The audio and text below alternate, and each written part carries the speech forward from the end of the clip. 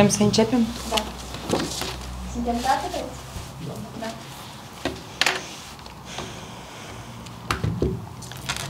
Bună ziua la toată lumea, stimați bălțeni, stimați concetățeni, desigur că reprezentanți ai mass media, mă adresez și la toți colegi de ai noștri care sunt foarte atenți la ceea ce o să spunem astăzi, de numele președintelui nostru, domnului Ilan Șor, de numele echipei noastre și care o să fie poziția noastră, care astăzi, împreună cu domnul Vadim Banaru, o să, o să o exprimăm și o să vă povestim care sunt pașii noștri următori.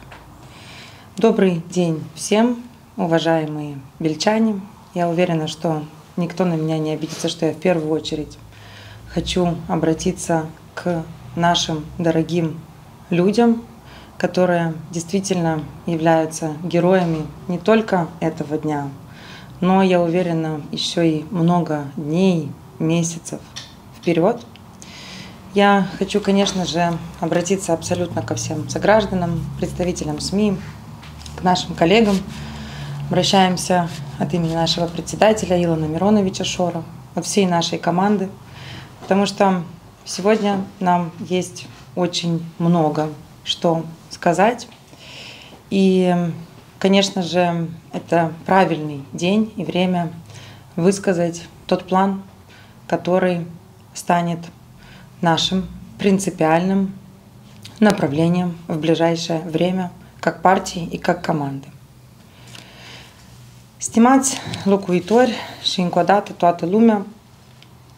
în această dimineață noi ne-am trezit.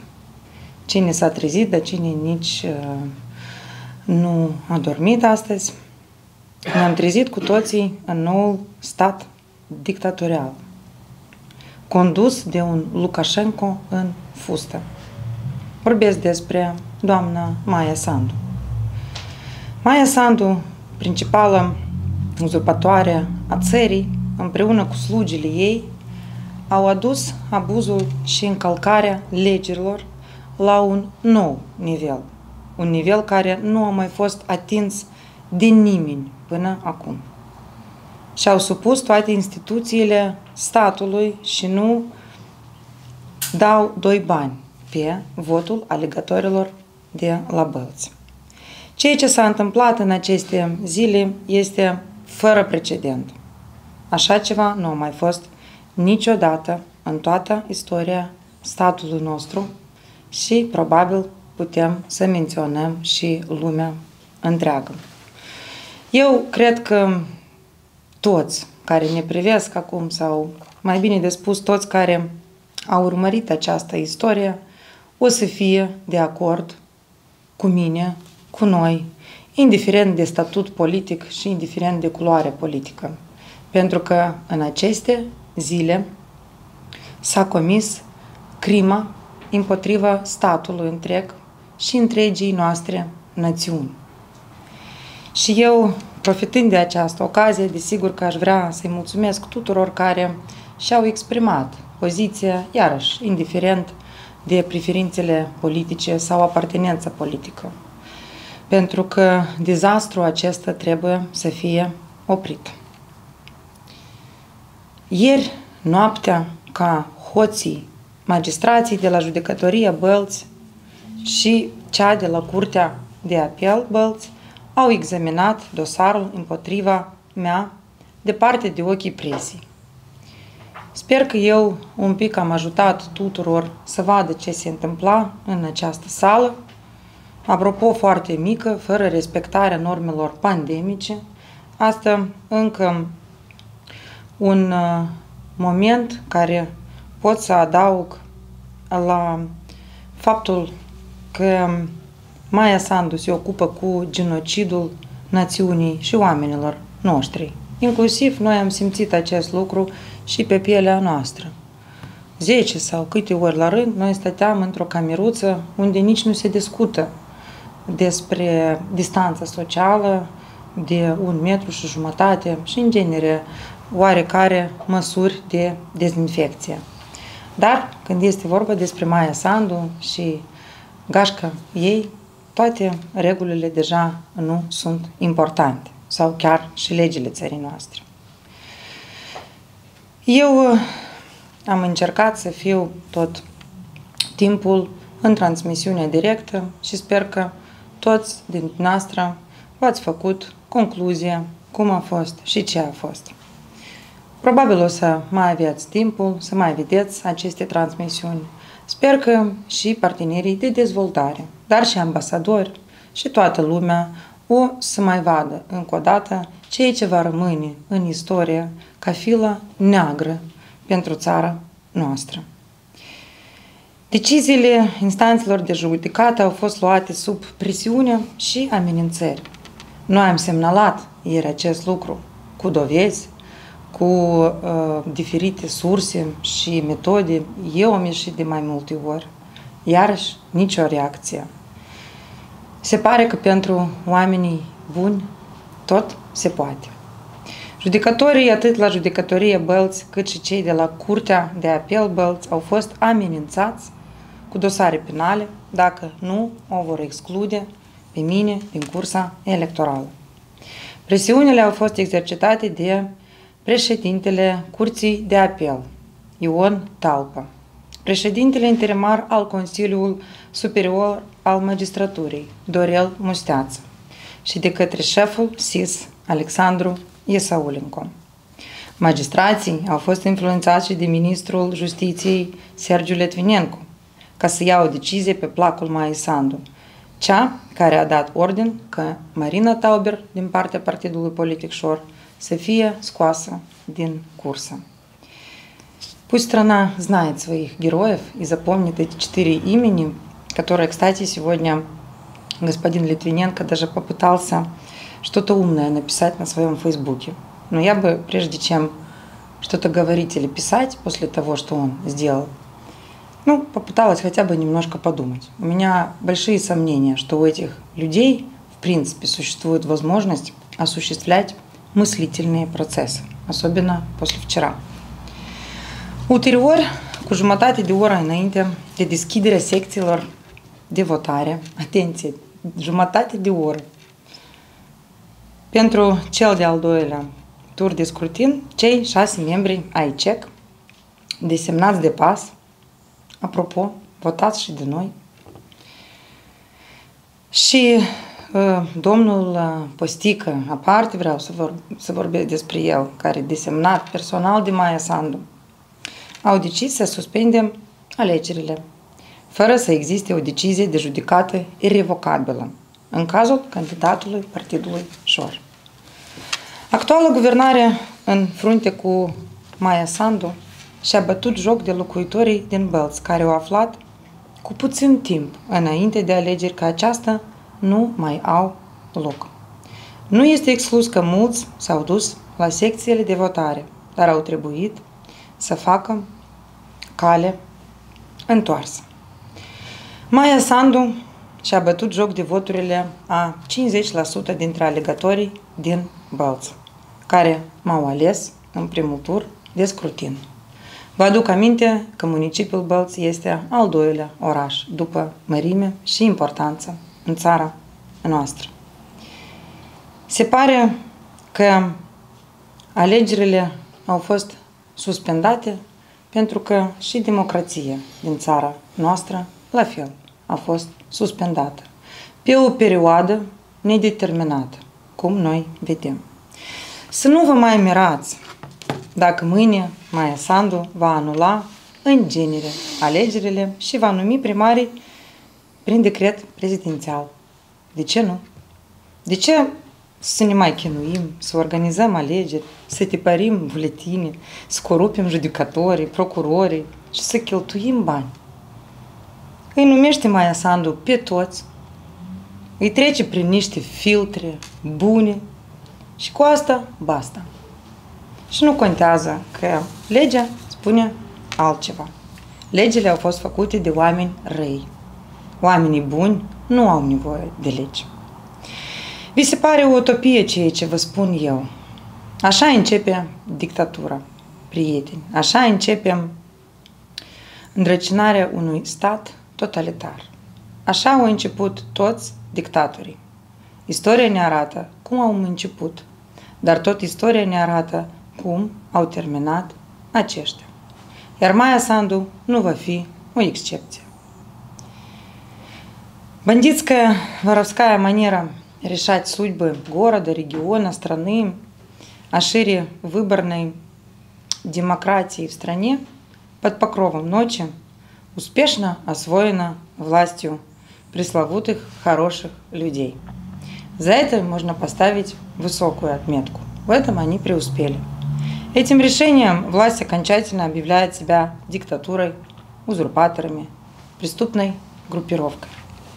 Выбор десятков тысяч граждан Республики Молдова растоптан грязным сапогом новой хунты. Это беззаконие, это бесправие, и к этому можно подбирать очень много слов. Только так можно охарактеризовать решение Центральной избирательной комиссии об отмене второго тура выборов примара Бельц.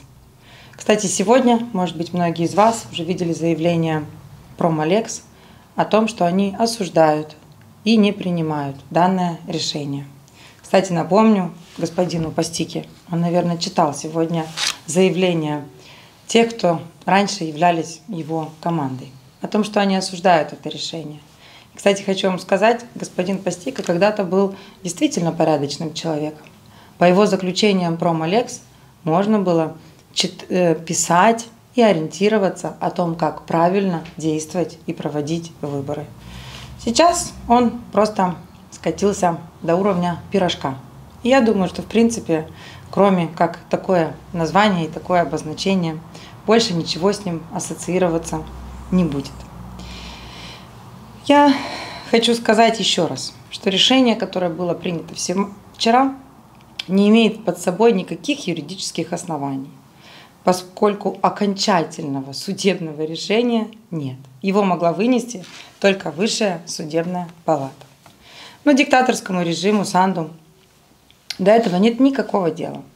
Одержимая жаждой мести, Санду плюет и на закон, и на процедуры, и на выбор людей. И хочу еще раз упомянуть ее верных сообщников, преступников, Мустяца, Литвиненко, Есауленко и вчера появившийся новый герой в нашей стране Ион Талпа. Про него бы никто никогда не узнал, если бы вчера беспрецедентным образом он не давил на судей прямо в то время, как шло заседание суда. И, конечно же, до этого. Я четко понимаю, что все это выходит за юридические прецеденты, за рамки здравого смысла и вообще за какую-то нормальную, адекватную оценку. Это конец юстиции, да, Литвиненко. Вы не комментируйте, пожалуйста, мои заявления, потому что вы со своим хозяйством разберитесь и не пытайтесь пиариться, пожалуйста, на нашей команде, потому что то, что мы говорим, мы за свои слова отвечаем. Вы же врете с утра до вечера и обманываете людей. Поэтому просьба даже лучше не, не упоминать нас, потому что э, стыдно, чтобы такие люди, как вы, упоминали нас. Я хочу завершить свое обращение к Майе Санду и к ее команде одним четким пониманием для всей нашей команды – и для себя. Хочу, чтобы вы понимали, что это война, и это будет очень взрослая война. В ней обязательно будут победители и проигравшие. И я вас уверяю, что проигравшими будете вы. Я вас уверяю, что мы сделаем все возможное, чтобы каждый из вас ответил со всей строгостью по закону Республики Молдова и по всем необходимым нормам. Я с удовольствием через какое-то время констатирую, что у нас это получилось. Мы умеем ставить цели, мы умеем идти к ним. И здесь вопрос не в том, что мы считаем вас плохими или хорошими. Просто от таких, как вы, нужно очищать срочно нашу страну. Она и так уже на грани полного краха, а вы, бессовестные оккупанты, четко понятно, что работаете не на интересы нашей страны. На интересы кого вы работаете, вам виднее, откуда вы получаете конверты и откуда вы рассовываете по своим карманам гранты, не отчитываясь нашему населению. Вопрос, почему кто-то эти деньги предоставляет, даже не проверяя, куда и как они идут. Но учтите, машина запущена, обратной дороги нет, как сказал наш председатель, и мы все полностью к этому присоединяемся. Начался полный демонтаж вас, якобы хороших людей, которые, может быть, когда-то в детстве глубоком и были хорошими. А сейчас вы и не профессионалы, и даже не граждане, достойные своей страны. Поэтому со своей очереди и с нашей стороны хочу с вами попрощаться. Вас больше нет. А как говорится, о мертвых либо хорошо, либо ничего. И в конце, если позволите, я хотела бы, конечно же, отдельно со всей теплотой обратиться к людям, которые очень вдохновили нас и которые дали нам еще больше уверенности в том, что наше дело правое. Иногда сложно понять, какой правильный путь должна выбрать наша страна. И очень много мнений на данную тему. Но тот путь, который выбрал Илон Шор в 2015 году, партия Шор и мы все, показывает, что нас люди за это ценят. За простые, конкретные вещи. За менеджмент, за профессионализм. И да, я не буду лукавить и абсолютно искренне вам скажу. Да, нас люди ценят за искренность, за правду, за настоящесть, за то, что мы такие, какие есть, и за то, что мы действительно очень искренне и по-настоящему любим людей и благодарим их za поддержку. Stimați bălțeni, noi am tot cine a stat în putere pentru a vă apăra drepturile de a participa la un proces electoral liber și de a alege pe cine vreți voi. Însă puterea uzurpătoare a scuipat pe voi și pe drepturile voastre. Pentru ei, voi nu contați. Nu au vrut să vă audă pentru că nu dau doi bani pe alegerea voastră. Maia Sandu украла что-то или много чего, или победу не у нас. Она украла право на мечту, право на выбор и право на лучшую жизнь у жителей муниципия Бельца. Дорогие бельчане, на этом ничего не заканчивается. Хочу вам сказать, что в наших с вами взаимоотношениях и в наших с вами планах все только начинается. И это позитивный месседж сегодняшнего дня. Мы продолжим борьбу всеми доступными методами. Сегодня именно в Бельцах решается судьба Молдовы. И через пару минут господин Банару, который является частью юридической команды, которая билась и воевала со всеми возможными силами ради вас. Хочу, пользуясь случаем, тоже поблагодарить обязательно всех членов нашей юридической команды, адвокатов, юристов.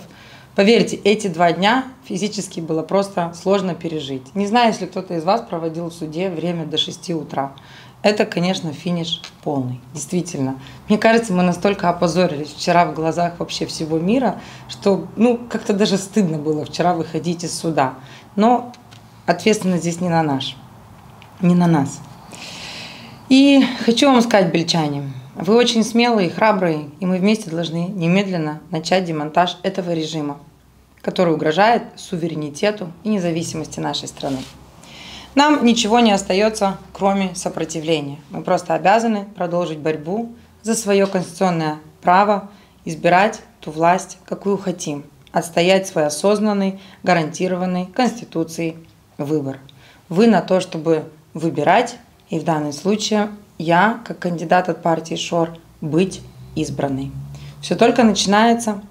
Пока мы не устраним из власти преступную группировку ПАС, ночных грабителей, о соблюдении гражданских прав в Молдове можно забыть. Поэтому восстановить функциональную демократию в стране – вот она nașa задача. Stimați bălțeni, vă mulțumesc foarte și foarte mult pentru susținerea voastră și vă promit că vom lupta până la capăt. Ceea ce nu ne omoară не face mai puternici.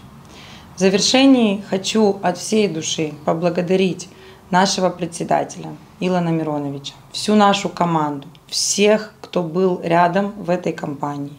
Повторюсь, я подвожу некий итог не потому, что что-то заканчивается, а потому что сегодня мы констатировали определенную ситуацию, мы идем дальше, но все то, что было сделано до вчерашнего дня абсолютно всеми нашими единомышленниками, да и вообще, повторюсь, то назначение, которое меня привело в Бельце, это большая честь для меня, это гордость. Я хочу вам сказать, что со всей ответственностью вместе с нашей сильной командой и, конечно же, бельчанами мы покажем мастер-класс и что такое бег на долгую дистанцию. Мы это умеем, мы знаем, что это. И в конце, я вас уверяю, победит сильнейший. А сильнейшие – это мы. Спасибо всем огромное за внимание. И попрошу господина Банару продолжить то, что вчера происходило, рассказать вам. Frumos! Bună ziua, stimați reprezentanți ai mass, media! În ultimele 48 de ore, Republica Moldova au avut loc niște acțiuni fără precedent, care au fost abuzive, ilegale, soldându-se cu încălcarea unor drepturi fundamentale la nivel național cât și internațional, dreptul la alegeri libere, dreptul de a alege și a fi ales. Sfidând toate procedurile legale și normele, Comisia Electorală Centrală a depus presiuni atât pe instanțele de judecată în coroborare cu participarea activă a SIS-ului, a Ministerului de Interne, acțiuni care s-au soldat cu privarea abuzivă a locuitorilor municipiului Bălț de un drept simplu de a-și alege propriul primar. Aici vreau să exemplificăm. În primul rând, nu a existat careva probe care să demonstreze încălcarea de către Partidul Politic Șor a raportării financiare în cadrul alegerilor locale noi din municipiul Bălț. Și, la fel, nici nu există nicio probă că aceste încălcări financiare au fost comise de doamna Taber.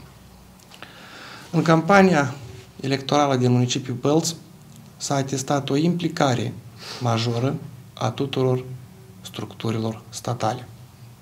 De asemenea, au fost persecutați locuitorii, au fost persecutați agenții economici de către colaboratorii Ministerului Afacerilor Interne, colaboratorilor SIS, inclusiv au fost presați și simpli judecători care au fost atrași în acest dezmăț politic electoral.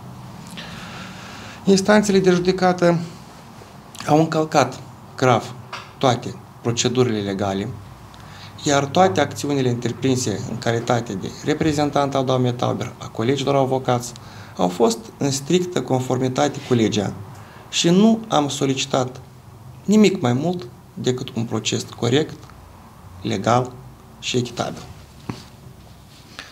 Totodată au fost acțiuni denigrare, de denigrare, înjositoare.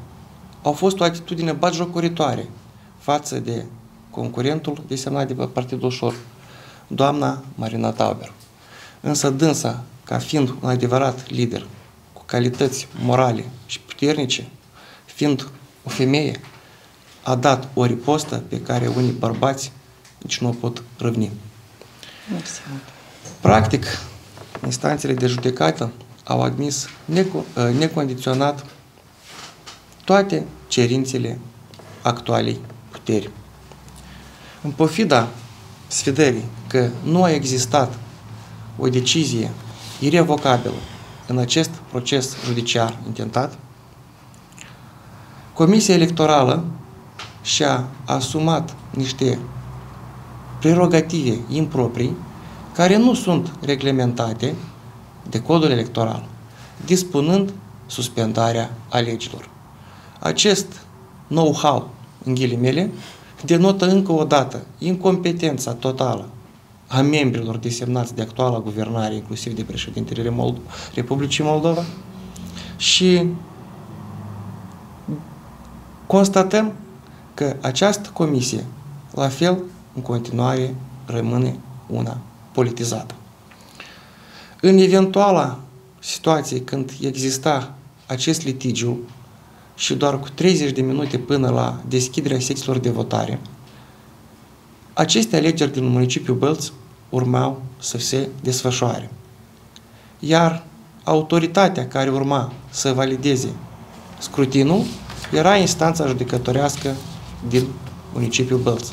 Astfel urma să fie validate sau invalidate aceste alegeri. În pofida faptului că justiția la fel rămâne în continuare capturată, noi am depus cererea de recurs la Curtea Supremă de Justiție, urmând ca instanța superioară să se expună la recursul înaintat.